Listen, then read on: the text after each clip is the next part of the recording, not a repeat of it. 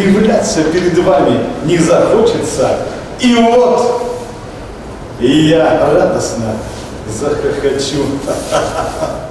Поэты Серебряного века прямо перед нами. Маяковский, Ахматова, Цветаева, Блок, Пастернак и, конечно же, Есенин. Трудно поверить глазам. Эти люди не актеры, а ветераны предприятия. Людмила Синокосова не раз выступала в роли поэтессы Зинаиды Гиппиус. Современники называли Зинаиду реальной ведьмой и декандовской Мадонной за своеобразную красоту, острый язык и смелость.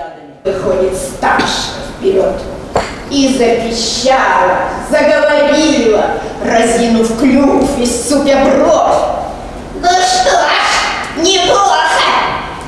я украла у двух любовников любовь. Почему именно такая роль?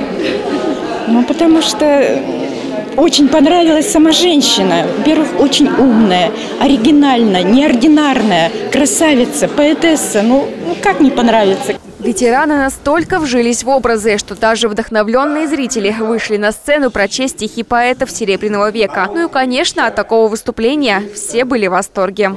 Прекрасное мероприятие. Я уже второй раз э, хожу и с восторгом э, смотрю, слушаю и переживаю э, за наших девочек э, и мальчиков тоже.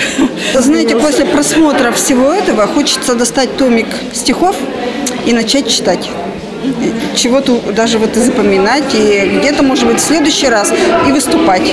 Мероприятие «Поэты Серебряного века» проводится уже во второй раз. Раньше творческие пенсионеры выступали на базе Совета. Желающих посмотреть было много. Поэтому в этот раз корпоративный музей «Азот» принял творческий коллектив в своем более просторном помещении. Надеемся, что на этом литературные встречи не закончатся. Алина Дудина, Кирилл Яранцев. Наши новости.